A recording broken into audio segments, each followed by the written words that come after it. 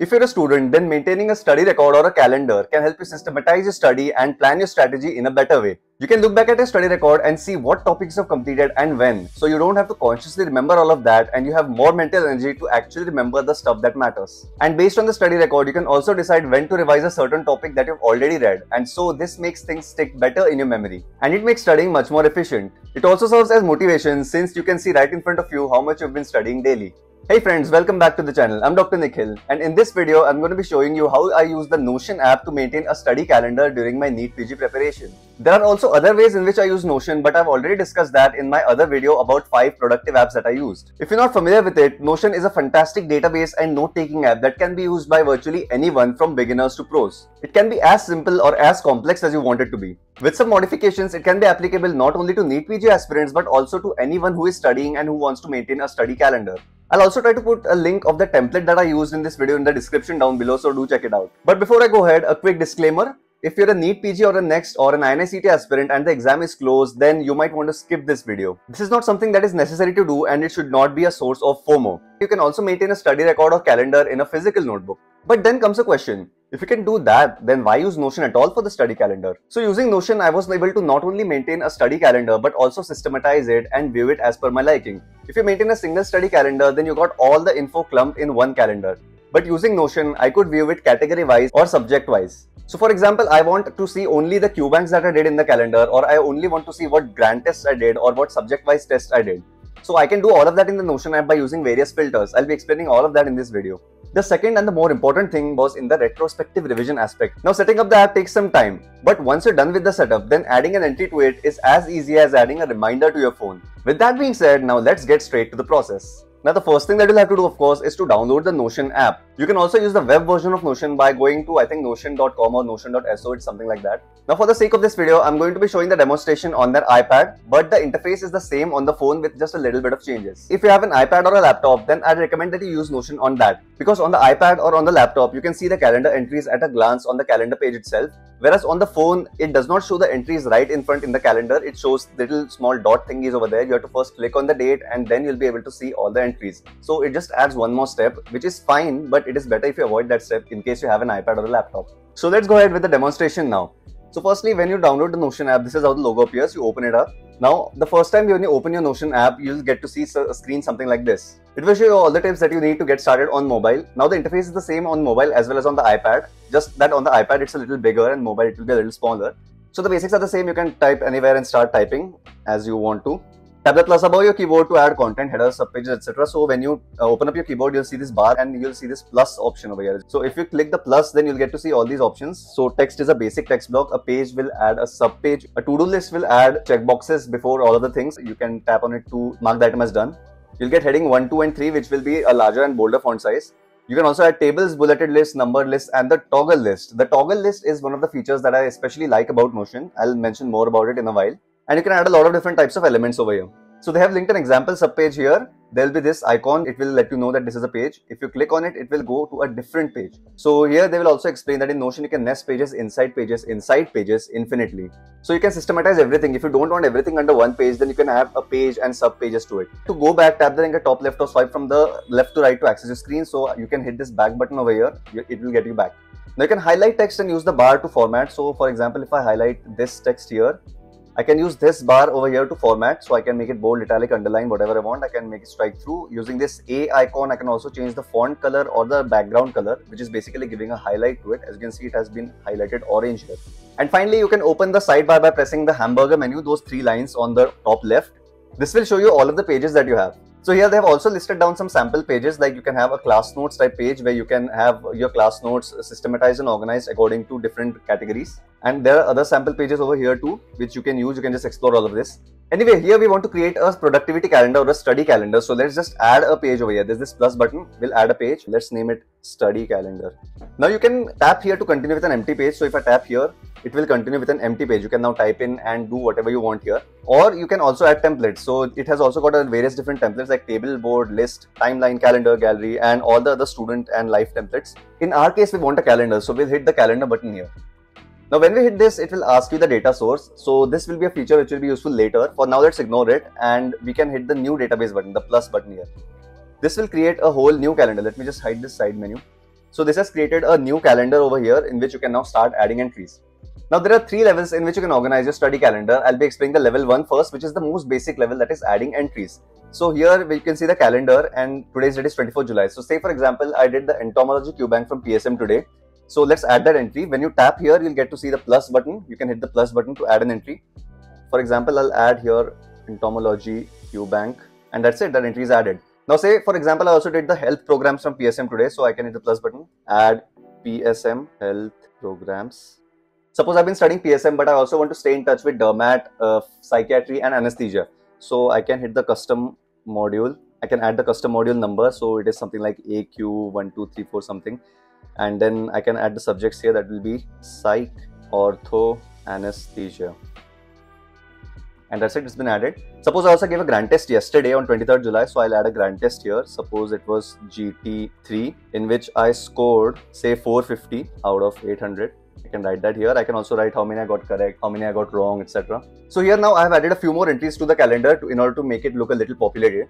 Now at a glance you can see everything but still it's a little difficult to figure out which of these are Q banks, which of these are topics that you've read or which of this is the first revision. So that's where the level 2 comes in. Now in level 2 you'll basically add different types of tags to all of these entries. So say for example let's go to this entomology Q bank that I added the first. So entomology Q bank. Now below this you can see that there are different types of properties that you can add. So there's this tags in which you can select what to add. So say for example we want to add a type over here. So I'll rename this property to type. Hit done button now I can click on this empty over here and I can add a new tag. So for example, this is a Q bank. So I'll add a Q bank over here. The tag is, does not exist. So it will go, give you an option to create that tag. So I can hit this create button. It will create that tag. Now uh, this is a tag which has been given the gray color. You can also change the colors. Now I used to solve my Q banks from Marrow. So I prefer it to have a blue color. So I'll give it a blue color and it's done. So it will have a blue color now. So as you can see now it has been tagged with Q bank. Now when you go back to study calendar, you still don't see it right now. For that, you'll have to enable an option that will display the tags over here too. So uh, you can click this here and you can have this properties option. So properties may, you can see it's zero shown right now. So you can click here and you can click the I button in front of type. So here you can see there's an I icon. You can click that and now it will show that property in the calendar. So when you click done, you can see that it is showing Q bank below entomology now. Let's add similar properties. For example, this is GT3. So I'll add the type as GT over here. Again this property does not exist so i'll hit the create button. And i want it to be blue again because i used to give it on marrow so i'll have it as blue hit the done button and now it will be there. Now cvs physio this was the first time i read this topic so this was my first read. So let's have first read and i can create that property and it will be orange. Let's just let it be orange right now. Now when i go to the renal tubules q bank and when I go to the type, as you can see that the types we have created are all here now. So you can directly click on the Q bank. So all of that hard work in order to create the tags, you have to do only once. But when you once you've created the tags, then you can simply select it from the drop down menu. Let's do the same for all of the entries here.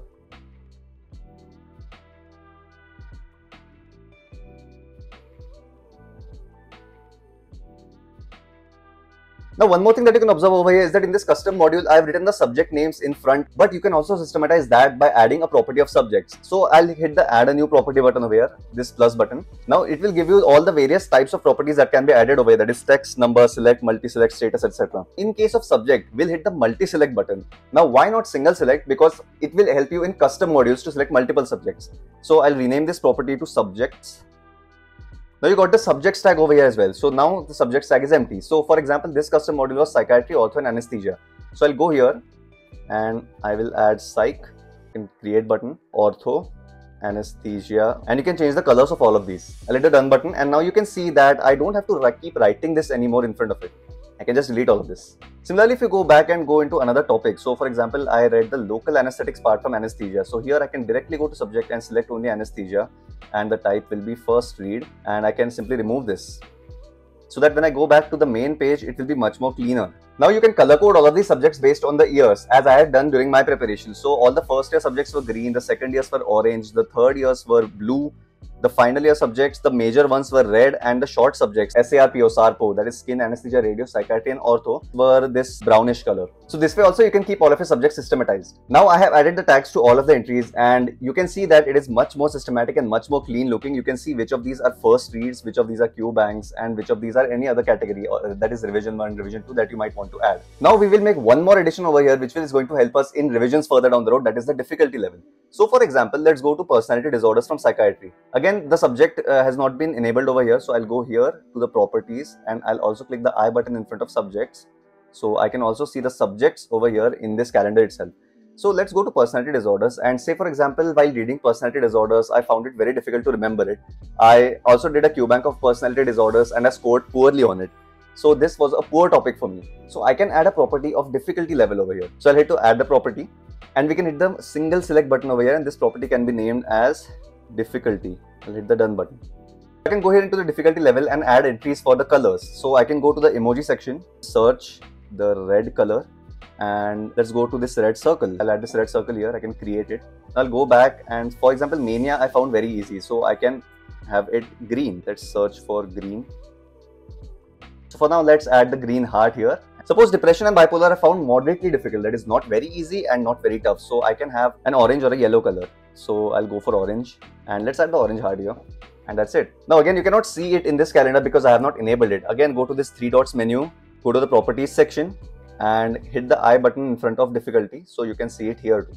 Now during my preparation for grand tests, I had added more properties here like the score property which was a text one in which I could add my score and how many I got correct, wrong and how many I skipped. And the performance level in this case it was orange and below there you can also add the text. I added top 3 strongest, top 3 weakest. I also added a screenshot here of my grand test performance and I also used to add the wrong answers initially here but then later I started making my 20th notebook that is my own concise notes so that thing just went away from here. So I'll explain how this red, orange and green color coding is going to help you in a little while. But before that, let's jump over to level 3 of the study calendar. Now this thing definitely looks much better than it was before. But you can systematize this even more. You can view all the Q banks only in one place, all the subject reads only in one place and the grand test in one place separate from each other. Now one way to do this is to use filters button. So in this study calendar itself, you can see this filter button over here. So for example, you want to see only the Q banks that you did. So you can go to filter, you can filter it by type and you can select only QBank and once you're done button as you can see in this table all the other entries have disappeared and you can only see your QBank entries here and you can do the same thing for the grand test as well as for the subject reads or the first revision or the first read but you will have to keep going to the filter section in order to add these filters. You'll just have to go here and you have to delete this filter. You can have, you'll have to add another filter. So there's a better way to do this by creating a dashboard for your study calendar. We'll see how to do that now and that is level 3. Creating this dashboard will give you a view that looks something like this, where you have everything organized into toggles. You can click this and see only your QBanks. You can click this and see only your grand tests at a, at a glance. And you can also organize it subject wise. So let's see how we can do all of this. So you were on this page earlier. Click on the top left on this uh, three lines hamburger menu and we'll add one more page. This will be the study calendar dashboard. I'll hide this thing here. Now I can directly click calendar over here too, but I want it organized into toggles, so I want to completely make it my own. So I'll simply tap here to continue with an empty page. Now in Notion to add on mobile, you'll again click the plus button above the keyboard. So it's not appearing here right now. We'll click this left arrow button and that will give us the plus button somewhere. just scrolling to the left give us this plus button. So we'll go down and here's the toggle list option. But we also want the toggle in the form of a heading. So if you scroll a little down and go into the advanced blocks, you'll also see toggle headings here. So here I want, for example, toggle heading 2, I'll type that thing and you'll get this heading. So for example, I want all of my QBanks in one place. So I'll hit QBanks here and down. Now this toggle is closed. If you press, press enter after this, then it will take you to the next line. But if you want to go inside that toggle, you'll have to press this small triangle button on the left of it. Now this will show you an empty toggle. So you can click here or you can just press enter now and it will now go inside the toggle. Now we want to add a calendar again over here. So again, in order to add anything, you'll click this plus button on top of the keyboard. So I'll click the plus button and I'll find calendar. So I'll click on this calendar view and this is where this data source option is going to come in handy. So now I can select the data source to be that study calendar that I had created earlier. I'll click on it and hit done button and now it is showing me all this data over here based on that study calendar. So my study calendar is here, but it is showing me the data here because it is linked and this link is being shown by this uh, oblique arrow icon here. Now I want only the QBanks here. So I'll do the same thing. I'll go to filter here and it has opened this small menu here and I can filter it on the basis of type, select QBank, hit done. Now this calendar is showing me only the QBanks and it is within this toggle. So I can press this triangle again to hide it. Similarly, I can create another toggle, click plus button and toggle heading 2 and I'll create a toggle for first read. I'll again go inside it, click the plus button, add the calendar view, link it to the study calendar, hit the done button. And when you click on the filter, this section will appear below the heading. In type, I'll go and select first read in this case, I'll hit done. And now in the calendar, it is showing me only the first read items. Now, if you do this for all of them, then you can see that they have all been organized into toggles neatly. You can go into the QBanks and see only your QBanks you can go into the first read and see only the first reads that you've done. You can also do the similar thing for first revision, second revision, for subject-wise tests, for grand tests. And that is exactly what I've done with my dashboard. In its, it was classified into Q banks, GTs, topics, tests, and in the test you had all the subject-wise tests. Well, I'll have to go back here into the dates. I'll go to August and you can see all of my tests here. The TND discussion tests are different. The pre-PG has been tagged differently. Marrow test has been tagged differently, and so on. Now you can also view the subject-wise distribution using a similar concept. You just create a subject-wise title and then you create a toggle with the subject and then you'll go inside the toggle and link that table again and in the types in the filters you'll select the subject that you want there. So for example i have obs gynae here. So what i did here was i again created the calendar linked it to that database and within filters i selected the subject obs and gynae so now Within this section, I can see that only the obs and gynae items are now visible and I can see it in a glance. Now, as you can see, not just the read, but all the things that are related to that subject will now appear here. That is the first read, the revision, any custom modules that you did,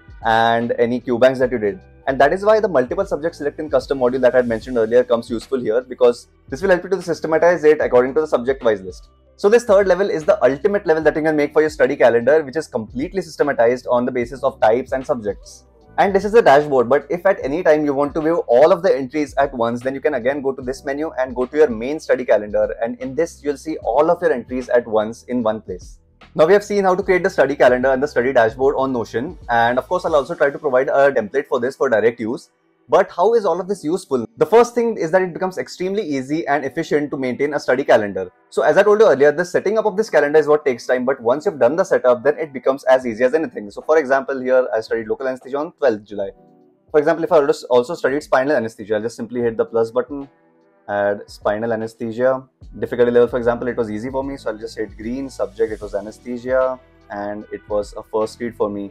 And that's it. That entry has been added in your calendar. So it is extremely easy to add an entry here. That's the first thing.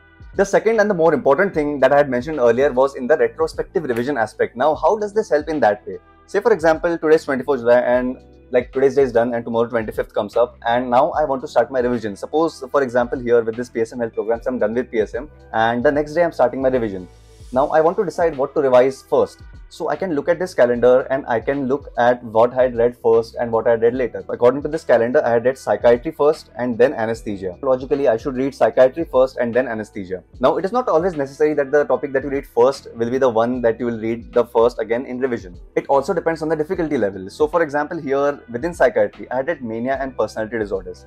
Now, mania I have highlighted with green and personality disorders is red. That means personality disorders was more difficult for me. Now, here I have not added the tag of whether it's a previously asked question or not. That's another tag that you can add. You can go here, add a property, and whether it's a PYQ or not, you can hit the checkbox button. So, I'll just show it to you here. You can go here, add a property, and you can add a checkbox category over here, and I can rename this as PYQ and that's it that property is now here and it's a checkbox properties if personality disorders is a pyq i think i remember it has been asked a few times so i can hit this checkbox now i can have it show in the calendar as well i can go here i can go into properties and i can click the eye icon in front of pyq and now at a glance I can see if it was a PYQ or not. Anyway, previous questions are more important for NEET preparation. So I can see at a glance now uh, suppose even Mania is a PYQ. So both of these are PYQs, but which one of them do I want to read first? As you can see, Mania was green for me, personality disorders was red. So next time when I'm revising, I can decide that I will do personality disorders first because that was weak for me. So you might be able to realize now how this can help you to supercharge your preparation by doing your difficult topics first and leaving your easy ones for the rest by dividing it on the basis of subject, type and PYQs. And the third thing is that it just looks very aesthetic. I mean, just look at this calendar. It looks so clean. It is so easy to add entries and you can systematically view everything at a glance. It's just a pleasure. It makes studying a little less boring and it adds sort of a gamifying experience to the studying. It doesn't matter if you're not a medical student. Even non-medicos can use the same thing with a little bit of modification according to their course. But also, if you're a NEET teacher or next or an INICET aspirant, don't get too much into the aesthetics of it. Also keep the strategies in mind. That is the PYQ focus, completing your first reading and then managing your revisions and shortening the duration and making concise notes and all of that that things. I've mentioned all of that in my strategies video. You can watch that thing later. And I'll also try to link the template of this thing down in the description below. So do check it out. If you also want to see the other apps that I use for increasing my productivity, I've made a separate video on the five productive apps that I used. You can watch that. So I hope that after watching this video, you'll also start to use Notion for your study calendar or your productivity calendar and systematize your whole process. This kind of demonstration based video and in fact all the other videos takes a lot of time to make including scripting and video editing which takes hours and hours of editing in order to get to this level of video. So if you like this video and found it useful, please do consider liking, sharing the video and subscribing to the channel. It helps me a lot and it motivates me to make more better content like this for you guys. So that's it for this particular video and I'll see you in the next one. Bye bye.